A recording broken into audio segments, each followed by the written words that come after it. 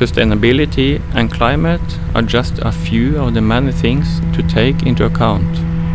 Then finding good solutions where the materials communicate well is decisive in order to succeed. Mjøstårnet is a pilot project, a spearhead that paves the way for other projects, and is really exciting considering wooden buildings in urban settings. In the short term, we need to reduce emissions from the production of materials.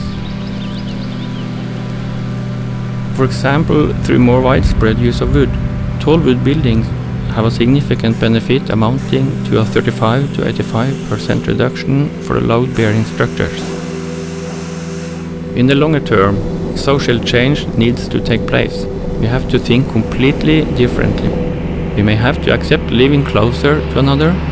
We have to save the topsoil. We can no longer take the long flights. And in this regard, Mjøstårnet can make a contribution proving that yes, we can build tall and big using wood with sustainable materials which have low greenhouse gas emissions when produced.